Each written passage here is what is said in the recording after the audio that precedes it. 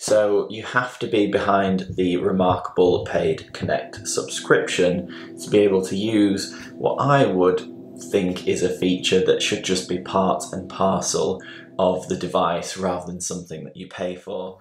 Remarkable Beta Update 3.22 is now out and it is a significant one which includes a very heavily requested feature but it comes with a caveat and one that I want to discuss throughout this video as I do an in-depth overview of everything that is included in this update. Before I go on to this, just a reminder that this is a beta update so that means you need to be opted into the Remarkable beta program Oh, on my Remarkable 2 here, I'm in the settings menu under software.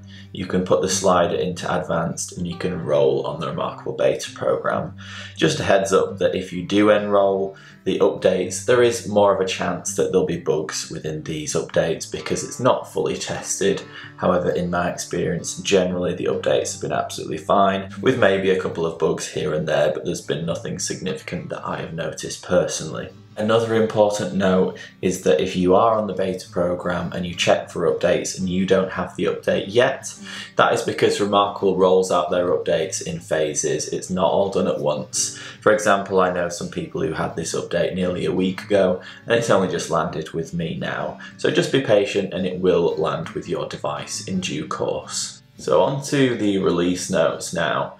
So the heading is handwriting search which is the significant update here. But I'm going to work backwards and I'm going to start on new icons, then I'm going to discuss the movable toolbar, and then we're going to conclude with talking about the handwriting search because just a quick heads up, that is not fully rolled out yet. It mentions here that it's coming in the next two to three weeks, so I'll probably do a follow-up video at that point. But let's start by looking at the new icons. I'm just going to move my Remarkable 2 to the side here. I'm just going to show you what these design touches look like. So I'm going to zoom in a little bit more. So I would explain it that they've essentially added some shading and slightly altered the icons here. Let's zoom in a little bit more. So you can see here that the icon has had some shading on the left side and if we open up the menus of the various pens you can see the same has been applied to all of these. It's almost like there's uh, a shadow being cast on them, making them a bit more 3D looking. Uh, it's very simple, but perhaps looks a bit nicer. The one significant thing I've noticed is that the undo and redo arrow are, are very thin now and they've added an extra feature which I don't believe they had before is that if the arrow goes thinner that means the, the uh, option is not usable and if the arrow is slightly thicker it means the option is usable so obviously because I've just drawn a line we can go ahead and select undo and now you'll notice that redo becomes thicker because the option is there to use that. My slight criticism on this is that when it when the arrow is thinner it is barely visible. If I can zoom out it's incredibly thin. It almost looks like it's there by accident. So they probably need to thicken that out a bit. So I'd provide that as a bit of feedback to the Remarkable team. I'm sure they can adjust that. It's an easy one to sort. Other than that, let's have a look at the other rest of the menu and you can see the same sort of shading style is carried out here with little bits of shading in the corners. All in all, they've just done a bit of a revamp of how those icons look. Quite an insignificant update really, but making things look a little bit nicer perhaps. Next up we've got the toolbar. So if you go into your main menu and into the accessibility settings, you'll now see an option here that says toolbar position. And it's quite nice how they've not just um, enable you to customize it in portrait mode. You can also select landscape mode and it doesn't have to be the same for both. But I quite like having it at the bottom here and this is quite a significant update for me or for those who maybe use more customized PDFs such as planners. This is a custom made PDF planner which I have available in my shop which I'll leave the link for in the description.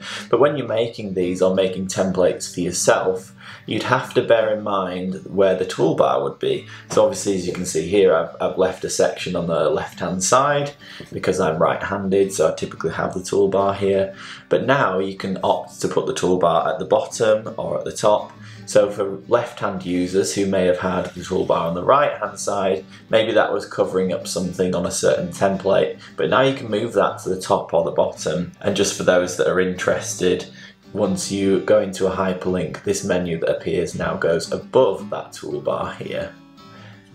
And you'll also notice that the page number summary is also added on top of where that toolbar goes. If you're wanting to move the toolbars, simply use your pen, hold down on it, and you'll see the black line appearing at the bottom there, or at the side here. That means it's ready to drag and drop essentially. So you can move them around mid-document if you're wanting a bit of extra space where that toolbar is covering. Nice and handy.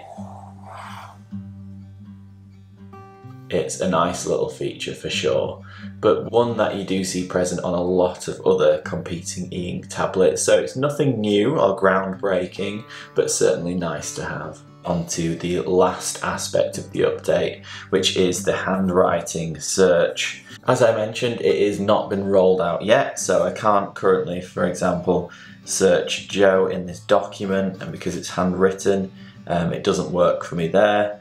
However, with the typed text, I can go ahead and search that and it will pick up on it.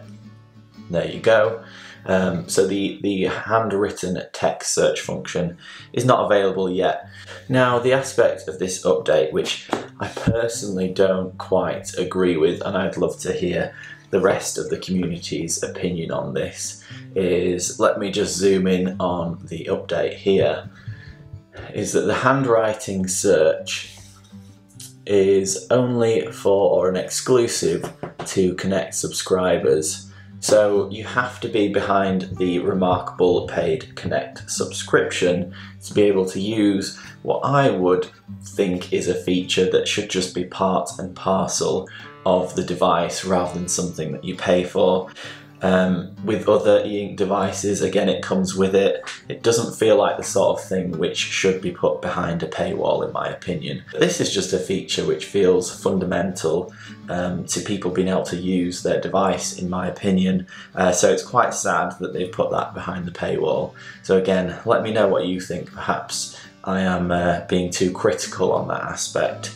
But this is a big update overall. I am a Connect subscriber, so I will be able to benefit from this and I will find it massively useful. Others who maybe are not comfortable paying that £3 or dollars a month, I think it's quite harsh on them when they've already spent a significant amount on their device. Follow along with my channel if you find remarkable or e-ink content useful and I'll see you on the next video.